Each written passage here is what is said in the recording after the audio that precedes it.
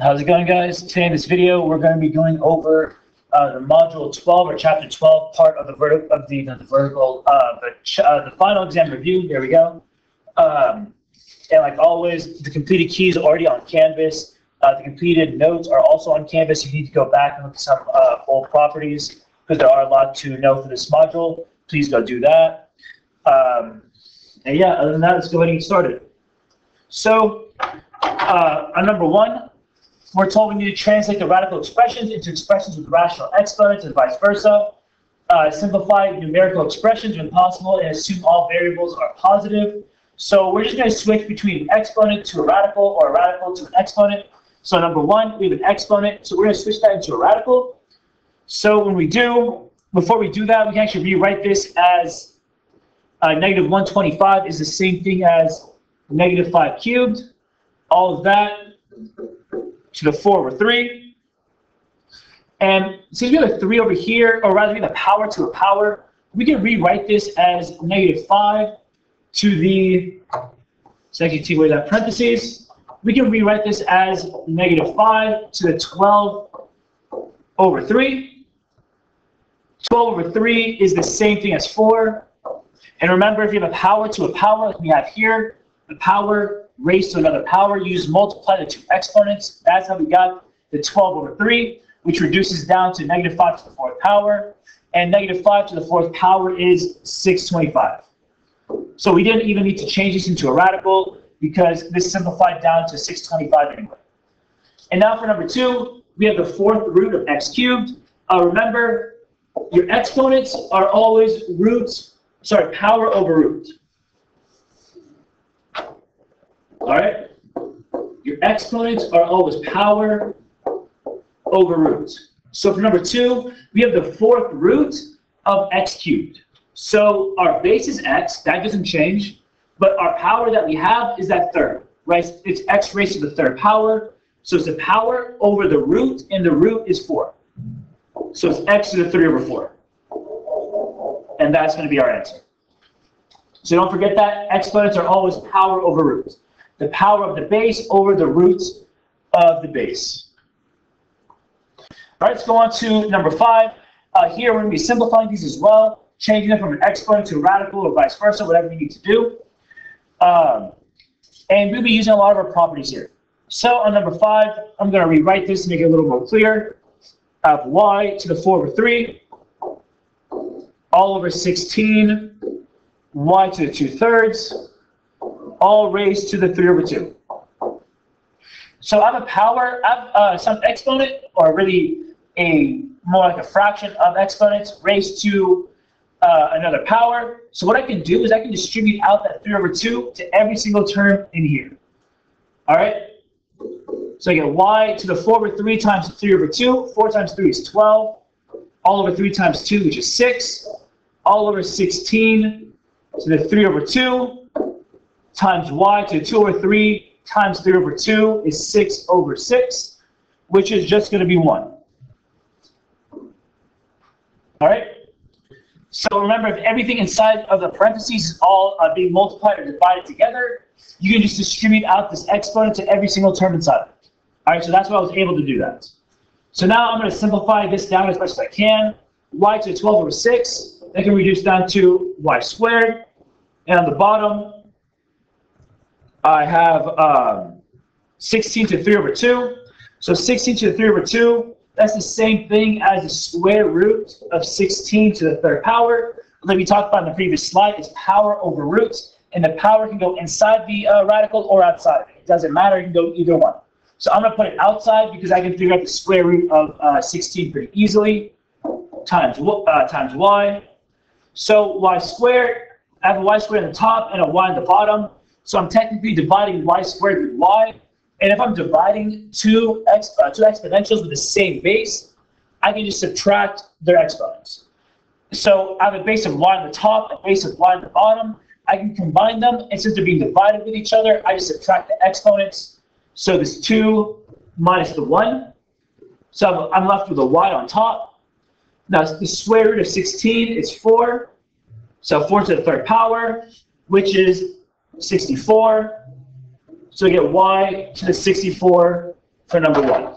So these are just using a bunch of the uh, exponential rules that we have. If you don't really fully remember them, go back to a completed Module 12 note packet, or if you have your note packets, go back to it, and you'll see all the uh, rules over there. Now number six, uh, it's the same thing. Inside the parentheses, everything's being multiplied or divided with each other, so I can distribute out that 2 over 3 to each uh, base in there.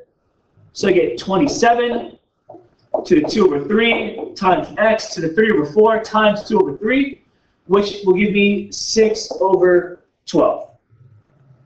So I can uh, simplify this out some more. 27 to the 2 over 3, I can rewrite as the cube root of 27, all squared. And I'm writing it with the power outside because I know what the cube root of 27 is. So I can solve this out a little easier than if uh, the square was inside of the roots. Times x to the 1 half. So the cube root of 27 is 3, and I have that squared times x to the 1 half times 9x to the 1 half. And it says we need to just simplify it. It doesn't, change, it doesn't say to uh, change it from exponential to uh, radical or radical to an exponential. It just says to simplify it. So we can leave it just like that to give us an answer of 9x to the 1 half. So again, if you're a little confused about all the rules that I'm using, go back to uh, chapter 12 note packet, review uh, all the properties, all the rules for the exponentials to give yourself a little reminder, a little refresher. All right, we're going to keep going though. We're going on to number nine. And on number nine, uh, we're told to simplify the expression by writing it using rational exponents and then using the properties of rational exponents. Uh, then we'll assume that all various positive exponents in simplified form should all be positive. Great. All right, so let's work this out. Number nine, we have the square root of 64y. So we can rewrite this as 64y to the 1 half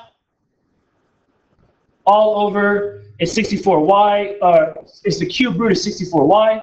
So I can rewrite this as 64y to the 1 third.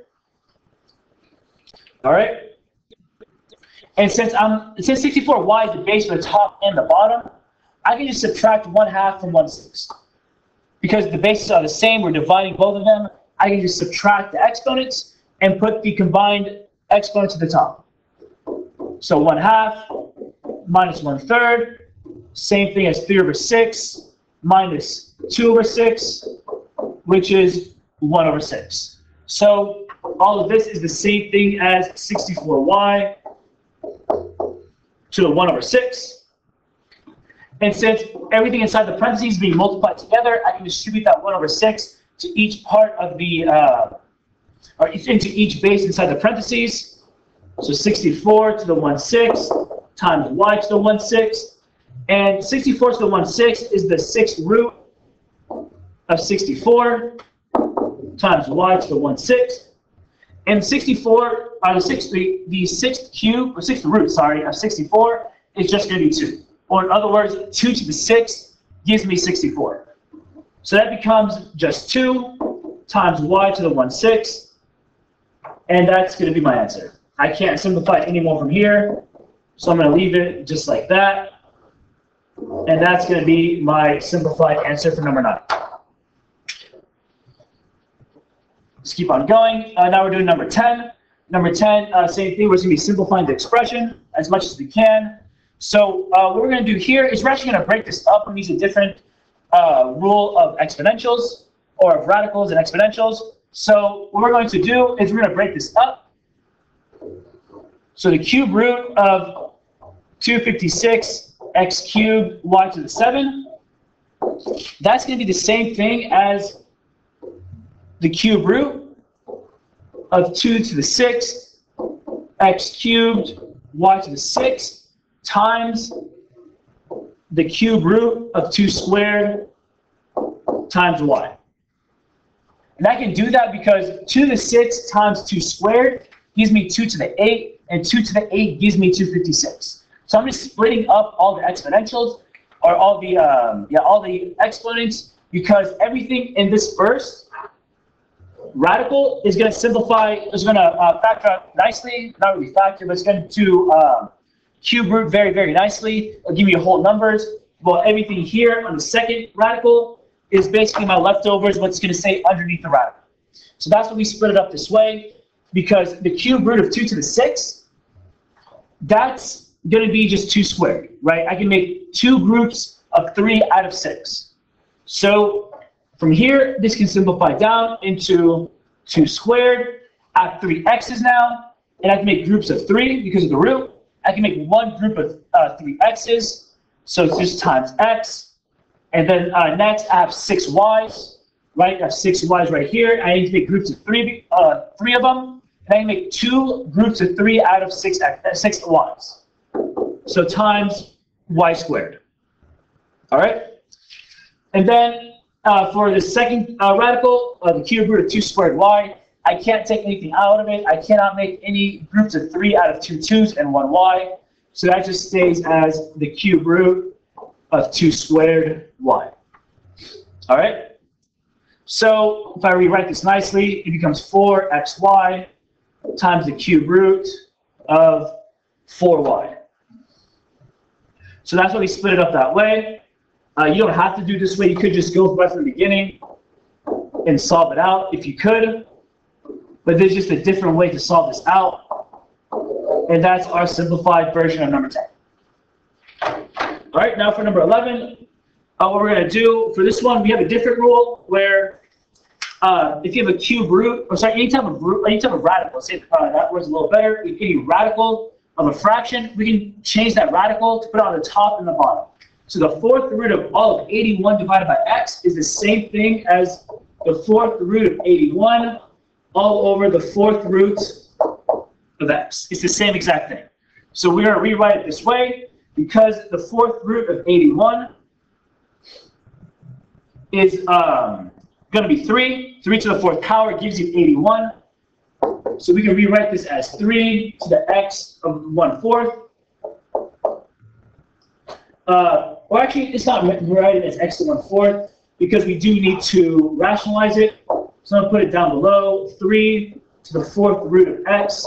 Uh, the reason I'm keeping it like this is because we have a radical in the bottom. We don't want a radical in the bottom. So we need to change the form. And to do that, we're going to multiply the top and the bottom by whatever we can multiply x to the 1 fourth with to get rid of that x to the 1 fourth. In this case, that's going to be x cubed. Or sorry, the cube root of x. All right? So we're multiplying with the fourth root of x cubed. I'm not sure I put x, the third root up top. Sorry about that. It should be the fourth root of x cubed. Because when you multiply the bottom out together, that gives you a whole x on the bottom. We don't want any radicals on the bottom, so we're multiplying it by whatever will give us a whole exponent on the bottom, which in this case would be x to the 3 over 4, or just the fourth root of x cubed. So we get 3 to the fourth root of x cubed. Uh, I think an easier way to see this actually is if we did change it to an exponent, someone do this both ways, it doesn't really matter. Uh, they both give you the same answer. But we have 3 to the x to the 1 fourth. That's this part right here. I'm just redoing it in a different way. I'm doing it exponents rather than radicals. So we have 3 to the x, x to the 1 fourth. We don't want a fraction as an exponent on the bottom. So we need to multiply x to the 1 fourth by uh, another variable, another x. That will get rid of that 1 fourth. And that's why you multiply with x to the 3 over 4. Because if you multiply two variables with the same base, you add the exponents. So if you multiply x to the 1 fourth with x to the 3 over 4, you have the same base of x, you add them together, and you get the base of, I'm sorry, you, you get the uh, exponent of just x. And you don't want to change the value of the function, so whatever you multiply the bottom with, you multiply the top with as well. So that's why we get 3x to 3 over 4 on the top as well. So these two are the exact same thing. There's just two different ways to go about it. And I think seeing it as exponent just makes it a little easier to see. So that's why I do it that way as well. All right, so that's number 10 and number 11. Let's keep on going. Uh, number 17 now. Uh, we're told to solve the equation and check for extraneous solutions. So uh, what we're going to do here is we're trying to solve an equation and we have a square root somewhere in the middle of it. We want to isolate that square root to make our lives a little easier. All right, so we're going to have minus 2 on both sides. to get the square root of x plus 10 equals x minus 2. And the reason we do that is because from here we can square both sides get rid of that square root. And when we do, it's easier to find the square of x minus 2 than it is to find the square of 2 plus the square root of x plus 10. You don't want to square it right from the beginning because it's going to be uh, a, a, little confusing. All right. So from this point, it's a lot, it's a lot easier. So we're going to square both sides from here. So you square the square root, you just get rid of the square root. And x minus 2 squared, that's a perfect square trinomial. So we get x squared minus 4x plus 4. You could just spoil it out to get the same thing. And then from here, we're going to add like terms so we can um, factor it out and find our solutions. So when we subtract x and 10 to the other side, we get 0 equals x squared minus 5x minus 6. And that's going to factor out into x minus 6, x plus 1. So our, our uh, solutions to this problem are 6 and negative 1. Uh, now, I don't say the other solutions, those are two possible solutions. Because remember, at this point, we need to double check that it actually makes sense. So we're going to plug in 6 and negative 1 into our original equation, because that's what they gave us, and we need to double check that it makes sense, all right? So let's do x equals 6 first. So we have 2 plus the square root of positive 6 plus 10 needs to equal 6. So when we do that, 2 plus the square root of 16 equals 6. 2 plus 4 equals 6. 6 does equal 6. That makes sense. 6 is a good answer. Now we're going to do the same thing with x equals negative 1, because that could be a solution as well, or it could not be a solution. We don't know. So we need to double check. So you have 2 plus uh, negative 1 plus 10 equals 6 the square root, or 2 plus the square root of negative 1 plus 10 is 9, equals 6. 2 plus 3 equals 6. 5 does not equal 6, so negative 1 is not a solution. So our only answer to this problem is x equals 6. And I do want to say it's very important that you plug both of these answers to double check into your original equation.